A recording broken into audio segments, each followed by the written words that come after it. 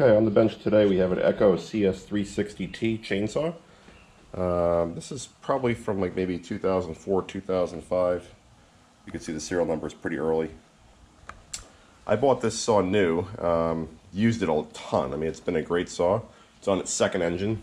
Uh, first engine kind of got low on power, pulled it apart, and uh, there's just some scoring in the cylinder. Not sure where it came from, but new short block fixed that. And I went to use it last weekend, and I filled it with gas, and about as fast as I was putting gas in, it was leaking out. Um, looks like it was leaking out of the, the fuel tank grommet here, which you can see is pretty loose. So, fuel was pouring out of there. So, I ordered some new fuel system parts in general, because it's been a while since I've tuned this saw up.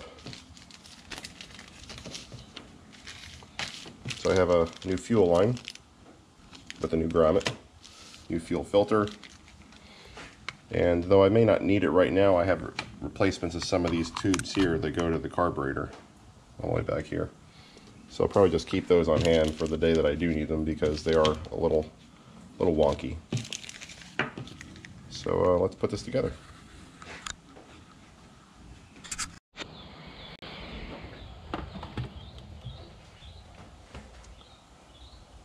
Alright, so we'll start by taking stuff apart here. I'm going to take this grommet out with a screwdriver. See, it just came out way too easily. Take the fuel cap off on this side. This is a great little arborist saw for anybody who needs this type of chainsaw. It's not huge, as you can see, it's a 16 inch bar, but it's a really, really strong saw. Okay, well, let's take the fuel line out from the other side.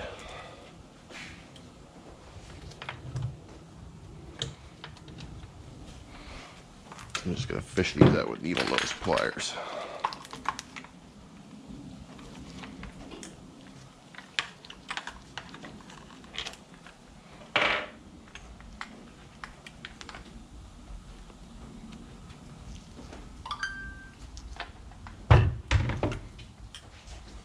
Or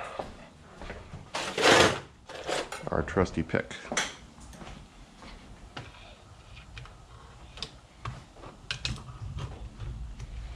I'm not expecting a tragic fuel filter. Now it looks okay. I take pretty good care of this saw. It's always treated me well. Echo is kind of my go-to brand for any two-stroke outdoor power. It's overkill for a consumer, but it'll last about a thousand years in most cases. So if you subscribe to the buy once, cry once philosophy, Echo's a good brand to consider.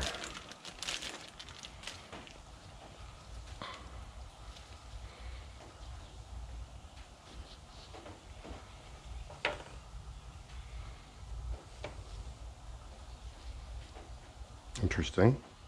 This new part appears to have adhesive on it.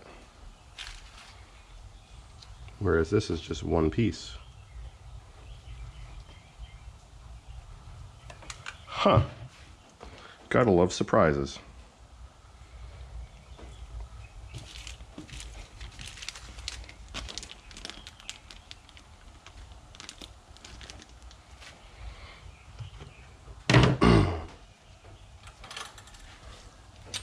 Let's see what we can make work here.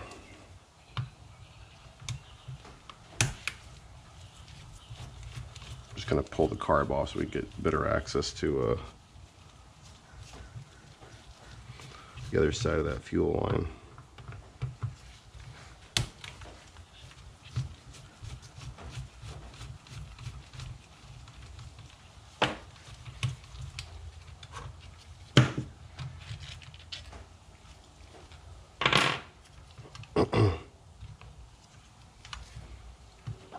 I do recall replacing this line once and it was loads of fun to deal with. Excuse me. Night of a little horse. There we go, carbs out of the way. So that's where fuel line hooks up to right there. And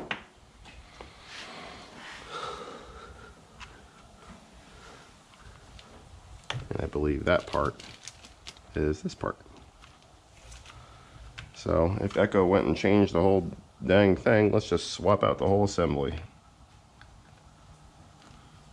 So it's I'm going to try and push this piece right here through that hole without damaging anything.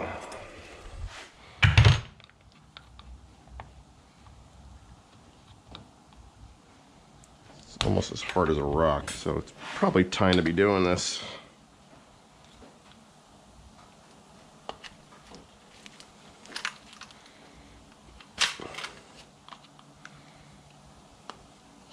There we go.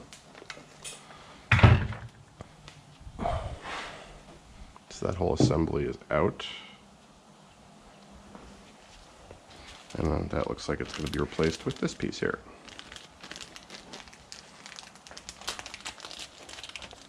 Kind of a clever design. And the carburetor just hooks right up in here like so. So what I like to do when we're dealing with these two-stroke things, just lubricate the parts a little bit in two-stroke oil. Makes life a little bit easier. Sometimes. This might backfire. Maybe I'll shoot myself in the foot. Let's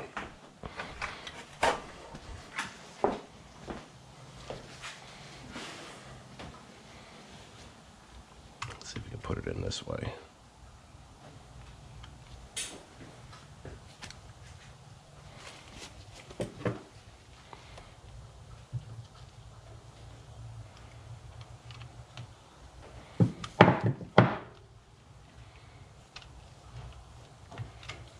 Of course, without destroying it.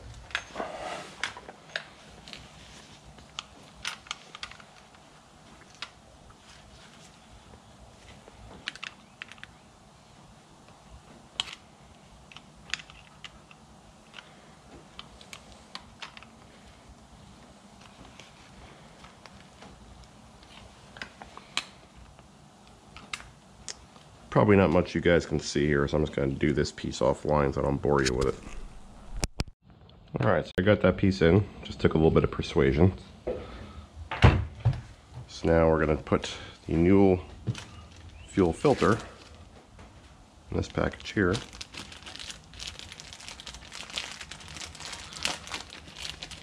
Take that out of the package.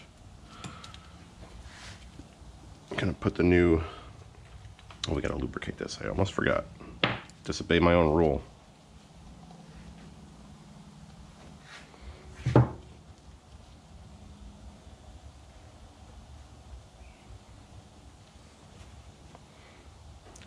Grommet in the tank.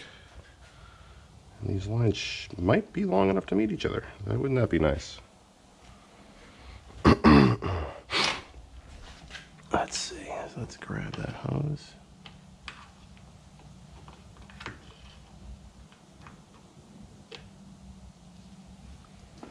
Let's put our new fuel filter on there. Gonna reuse the little spring clip here.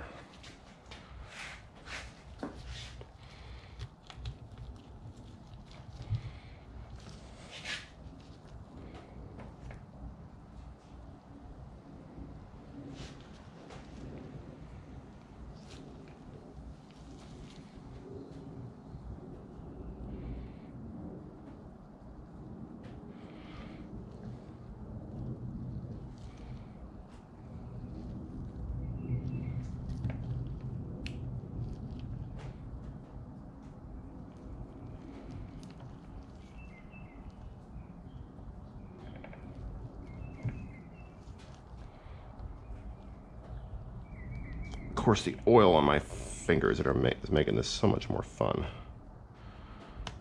There we go. All right, so new fuel filter's on. Just like that.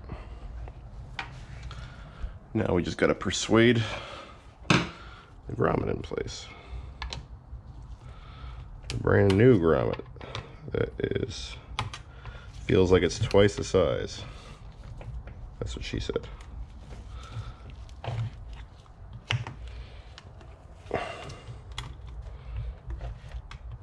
Okay, I think we're good. So now those two fuel lines meet at this little handy dandy connector. So I'm not exactly sure why Echo moved the connector because as you can see it's much closer to the carburetor. This line was all one piece. But they moved the connector kind of in the middle here. Whatever works. This is just a barbed plastic connector. You'll notice this saw does not have a primer bulb or an air purge bulb. So that means that the any gas the carb is getting is pumped by it all by itself. There's no operator assist for starting purposes.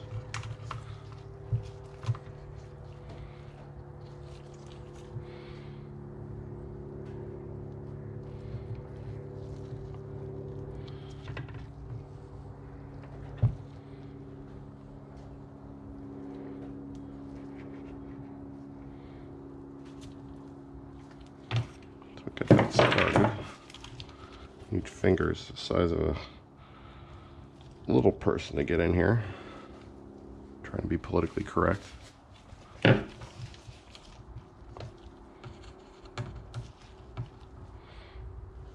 get my daughter to do this.